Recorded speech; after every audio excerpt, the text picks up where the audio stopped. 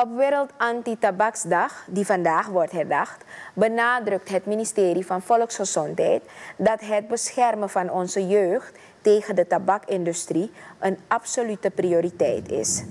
Dit is ook het thema van dit jaar op Wereldtabaksdag. Een dag die wereldwijd aandacht vraagt voor de strijd tegen tabaksgebruik en de schadelijke impact ervan op onze gezondheid. Het ministerie van Volksgezondheid laat weten dat er actief beleid gevoerd zal worden om jongeren te beschermen tegen de verleidingen van tabaksproducten. Het departement wijst er ook op dat ouders, scholen, gezondheidsorganisaties en de samenleving als geheel een cruciale rol spelen om ervoor te zorgen dat jongeren opgroeien in een rookvrije omgeving. Tabaksgebruik is een groot wereldwijd probleem met jaarlijks meer dan 8 miljoen doden.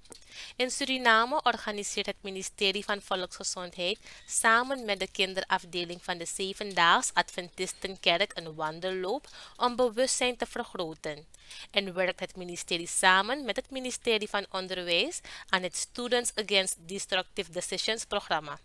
Bovendien organiseert de Centrale Opleiding voor Verpleegkundigen, COVAP, een workshop voor zorgverleners.